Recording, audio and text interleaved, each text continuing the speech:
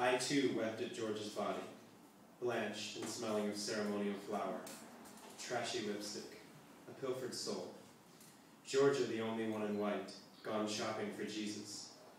Auntie Louise made the best strawberry rhubarb. The backyard, buried, next to the dead dogs and cats, and the rats.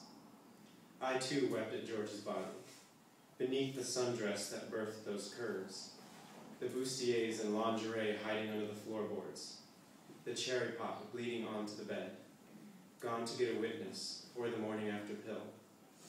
The choir musing overtones, preachers filling hearts with stained glass windows, families getting trashed and fucking, cousins giving handjobs and tongues in sacred canals, paddling beyond Fellowship Hall. I too wept at George's body. 187 at Hollywood and Vine. There she was, bleeding on Hollywood and Vine, the Catholic saints and illegitimate sons of Medusa in observation. Peering from a luxury window, bourbon spilling on my terry cloth bathrobe, I wait.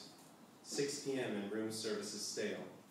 Flames swing dancing on the walls, careful not to wake the neighbors. The saccharine aroma of baby prostitute wafting from the bathroom.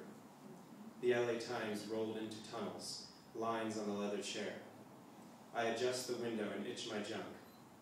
Red and blue flashes of light patronize wheelchairs spinning. The barking dogs have huddled for a subway romp downtown. Huddles of drunks oozing into brothels and yellow taxis street cleaning.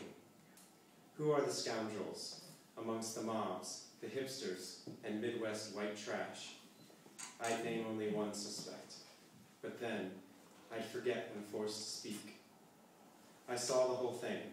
It was a damn tragedy, and the gods shall have their revenge, and I too shall have mine.